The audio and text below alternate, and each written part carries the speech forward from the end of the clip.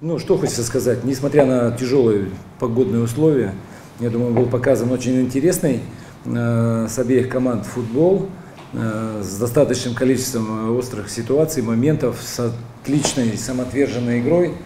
Э, все было на уровне, ну и мы, на мой взгляд, были острее, э, больше создали, больше создали, но, как всегда, наша эта болезнь, реализация своих моментов – еще такой пропущенный а, на ровном месте какой-то непонятный опять очередной гол, автогол, как говорится, в Казани, здесь. А, благодарен ребятам, не, не, как говорится, не поплыли по течению, продолжали давить, создавать.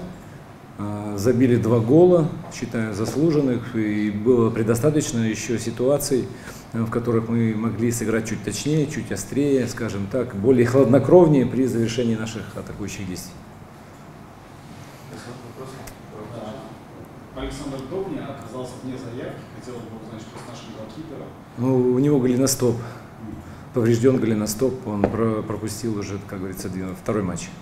По такой и причине. У нас э, два центральных защитника, Сергей Белич и э, Дмитрий Андреев. Э, давно, довольно-таки давно не играют. Хотел бы узнать, они сыграют со оставшихся матчах или они выбрали? Ну, это вот когда были вынужденные замены сделаны. Получается, в матче с Ростовом после, после того поединка на пути к выздоровлению, скажем так, но проблемы еще присутствуют, и на данный момент сложно по времени сказать, в какой это произойдет период.